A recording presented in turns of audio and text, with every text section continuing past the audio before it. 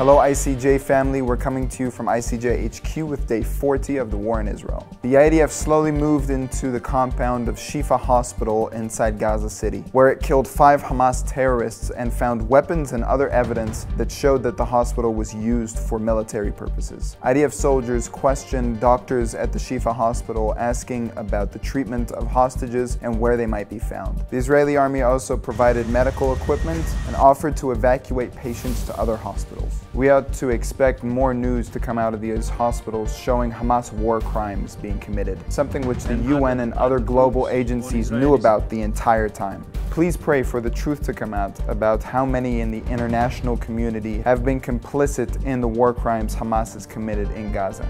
We thank you and we bless you from Jerusalem.